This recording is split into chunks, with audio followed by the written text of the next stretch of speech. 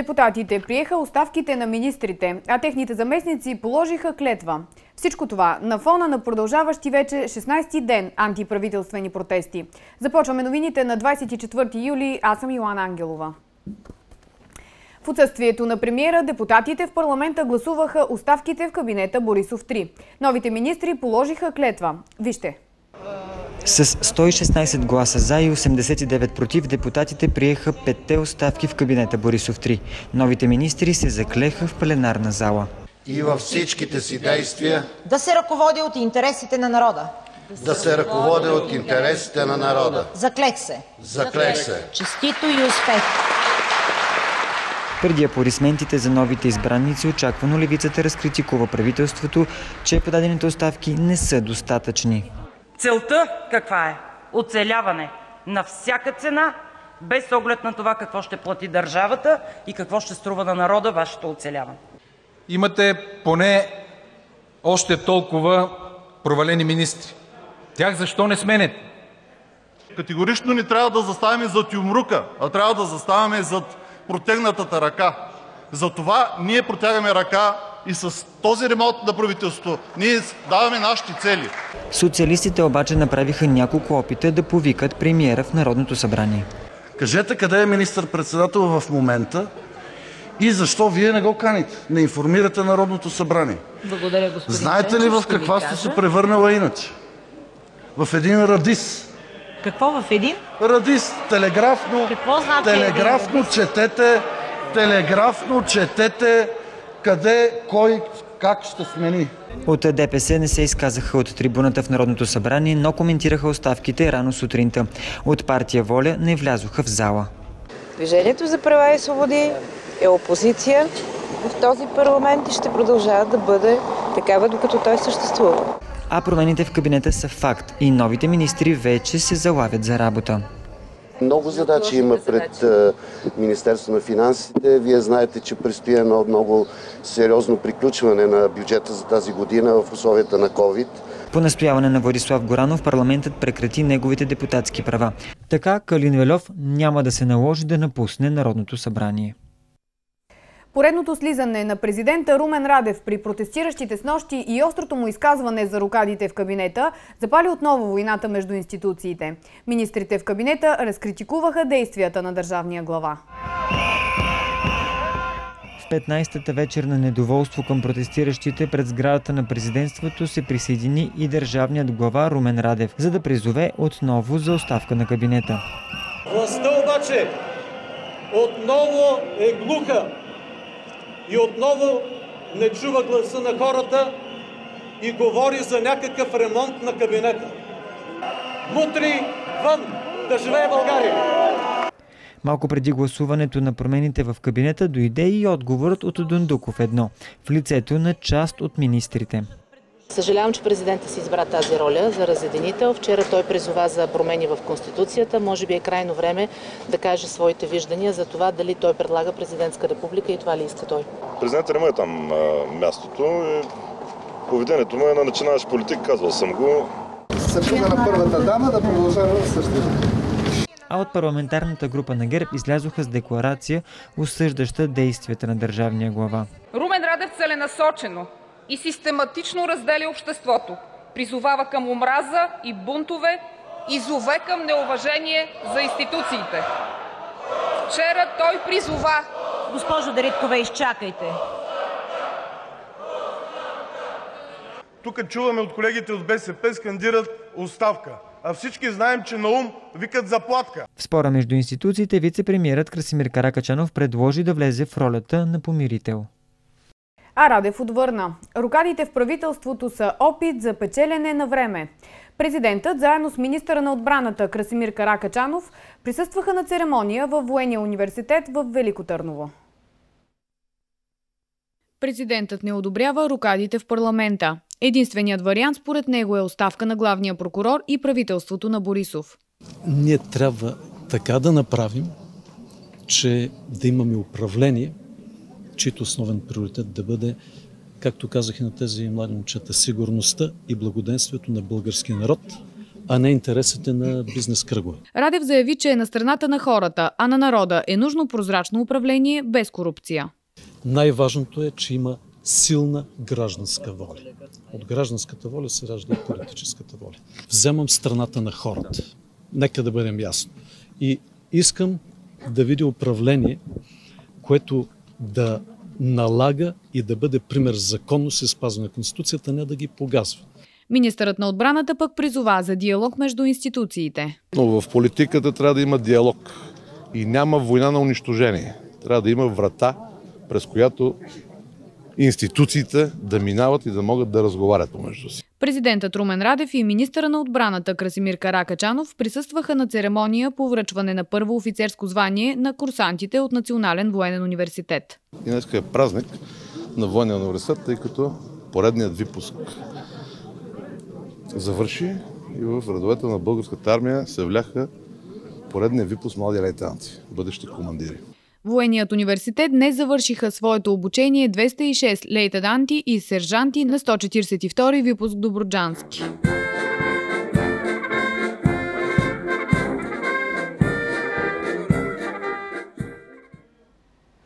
Продължаваме с един фрапиращ случай. Прибитите по грешка по време на спецакция момчета са категорични, че ще търсят правата си. Две момчета бяха нападнати от служителите на реда посред бял ден в центъра на Русе, където се провеждаше акция срещу лихварство. До побоя се стигна, защото полицаите са се объркали, че двамата младежи са предполагаемите престъпници. Разказваме. Двете момчета са нападнати посред бял ден в центъра на Русе. Точно тук на това място една кола ни препречи пътя, една кола на заклещи отзади на блокира и в този момент аз даже не разбрах за какво става въобще, че са, има полицаи и такива работи. Полицаите насочват пистолети към момчетата, изкарват ги през прозорците на колата и ги повалят на земята. Веднага почнаха ретници, белезници, краката ми настъпваха, лицето в асфалта, както се личи, че имам някакви охузвания от асфалта или от нещо друго. Няколко пъти ме отдалиха с електрошока. Моите наранявания са предимно в гръдния кош. Ребрата тук много ме болят. На главата ме боли, понеже бяха натиснали с обувка върху главата и ме ритаха по краката. Тогава момчетата чуват как полицаите си говорят, че всъщност са объркали хората, защото търсели същия модел кола. И полицаите ни махнаха белезниците, в същото време ни се караха, седнал земята, гледай земята, някакви такива неща. Почувствах се много унизен. Много унизен се почувствах, понеже ние нямаме никаква вина за това нещо, че сме били със същата кола. Нападнатите момчета веднага отиват в болница. В медицинското свидетелство, което им издава там обаче, пише, че имат леки охлузвания и че според пациента има наранявания от електрошок. Така те стигат до съдебен лекар. Каза, че примерно тук се личи, че съм бил ритан. Тук имам някакви наранявания от заред. Той ми каза, че не са от електрошок, най-вероятно са от а, те деца стъпвали по мен да ме натискат към земята. Ивайло и Даниел вече са се консултирали с адвокат и са категорични, че ще търсят правата си по съдебен ред. А от МВР съобщиха, че е образована проверка от директора на ГДБОП, главен комисар Любомир Янев, с цел да се изяснят всички факти и обстоятелства по случая.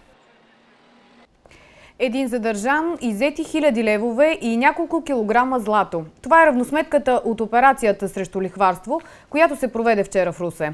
Тя бе направена от гранична полиция под ръководството на Окръжна прокуратура Русе. Действията започват още през май 2019 година.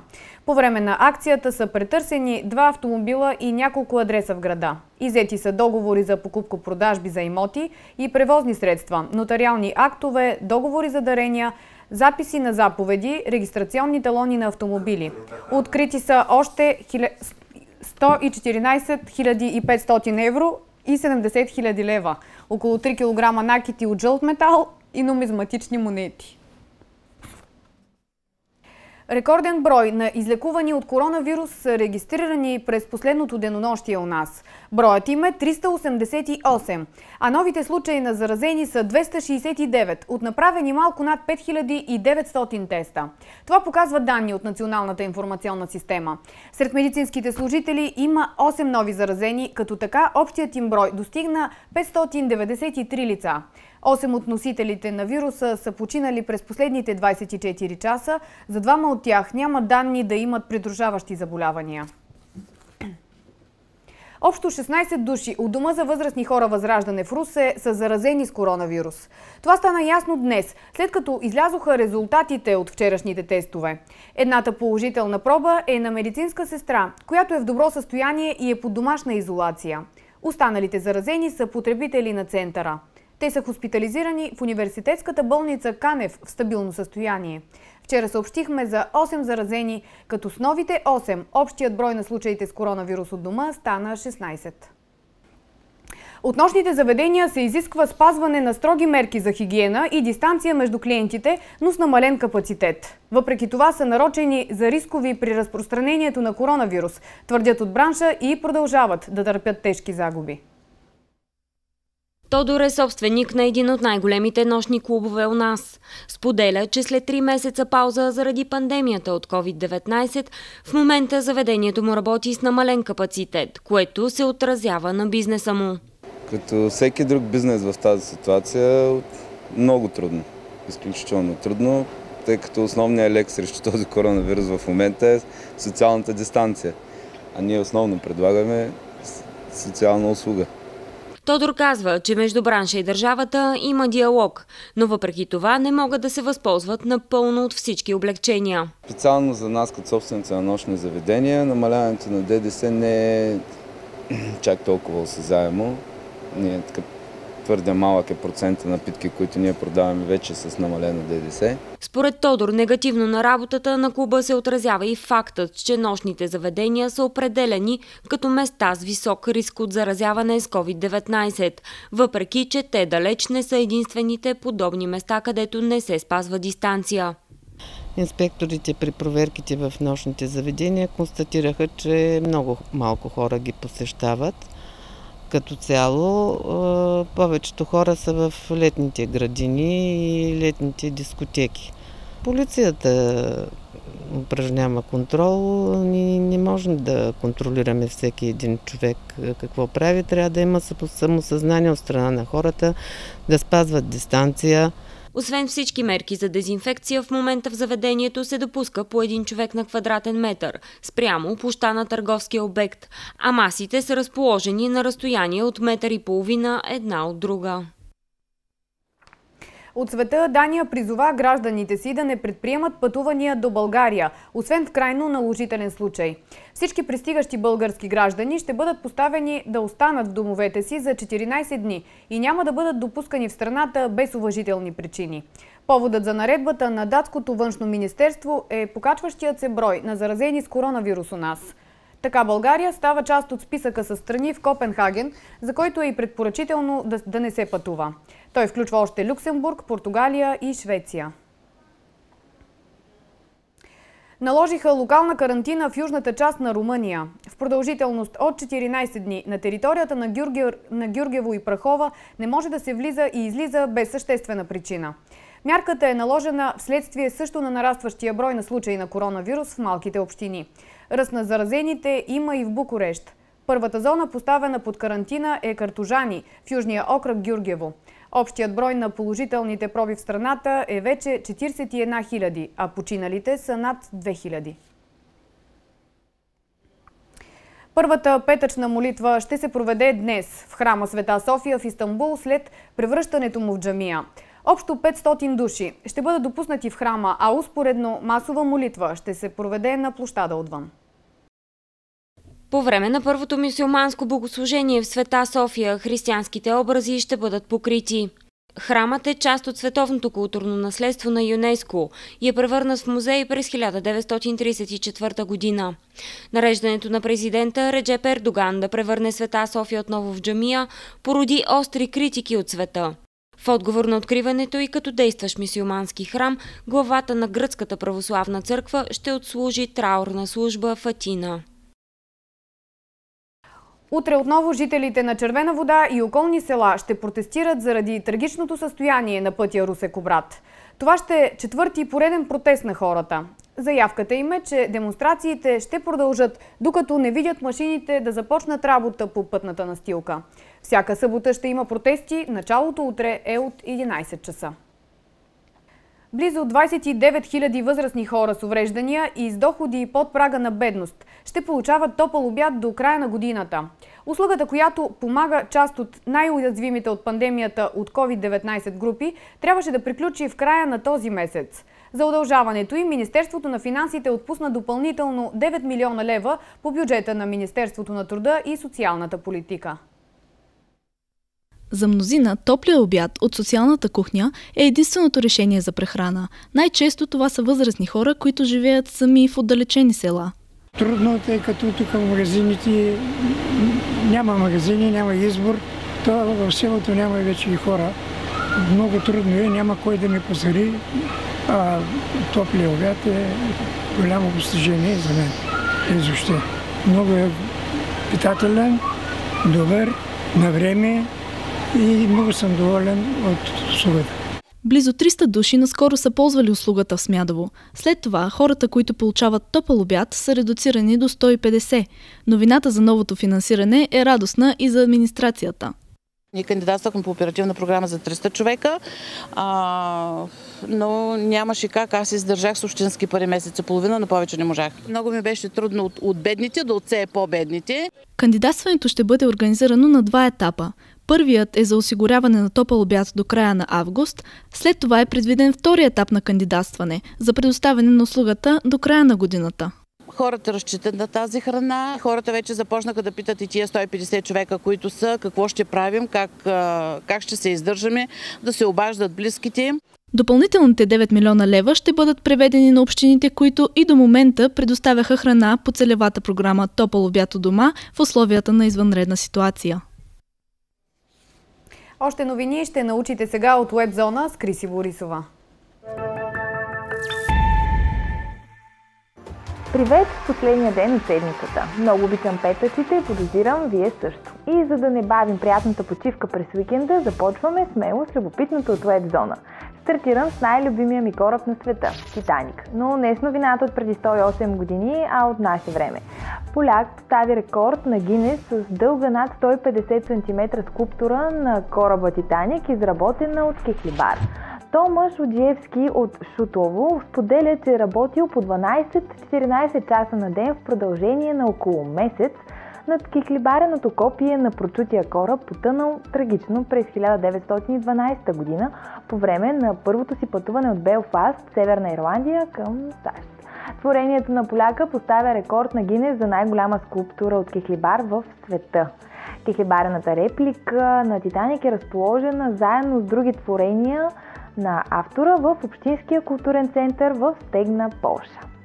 Сега обръщаме курса на движение и се запознаваме с средновековните рицари, които се отзоваха на призива от властите на шведски остров да помогнат на туристите да се придържат към насоките за социално дистанциране. Облечени в броня и носещи знамена с надпис «Заедно поемаме отговорност», Общо 8 рицари ще насърчават туристите, посещаващи остров Готланд, това лято да бъдат внимателни. Рицарите са от Обществото за възстановки турнир, което обикновено организира рицарски турнири през лятото, но те сега са отменени поради коронавирусните ограничения. Ех, тези шведци, измислили са си го, трябва да им го признаем. Можем да признаем и подвизите на едно малко коте, което разсмя потребителите в нета. Показваме кадри на забавна случка от Русия, в която се вижда как малко коте влиза в заведение и си открадва паричка. Всъщност първият опит на крадливата писана, наречена Мастяня, да отмъкне банкноти от котията с пари в кръчмата е бил осуетен от бдителен клиент. Той успял да грабне плячката на косматата пакосница, която тя случайно я изпуснала на пода. Първоначалният неуспех обаче не е отказал Масяня от целта й. Възползвайки се от това, че не я следи никой посетител с зорко око, котката пробвала отново да се измъкне с кеш, без да бъде възпрепятствана. Маца е останала без парички в себе си, но за сметка на това определено е развеселила клиентите на заведението. Нас също. Ще се разделим с още от света на животните, този път от този на пеперудите. Знаете ли, че Коста Рика е дом на 15 000 вида пеперуди. Някои от тях са специално отглеждани за ботаническите градини по целия свят. Освен, че са източник на доходи за по-бедните семейства, тези пеперуди също защитават гората. Но тук става въпрос за нещо повече. Пеперудите могат да живеят единствено в непокътнатата екосистема. Затова поляни и гори биват специално опазвани, а отглеждането на пеперудите в Коста Рика отваря работни места, пази природата и прави живота по-добър. С много красота и усмивки се разделяме, мили зрители. Ако не ви е стигнала дозата информираност, може да посетите сайта tvn.bg и фейсбук страницата TVN България. За още малко от всичко останало. А сега хубави почивни дни!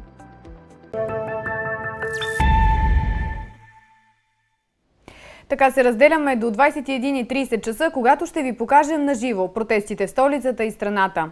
Сега вижте какво ще бъде времето, сигнали и видеоклипове обаче ни изпращайте на сайта tvn.bg. Хубава петъчна вечер!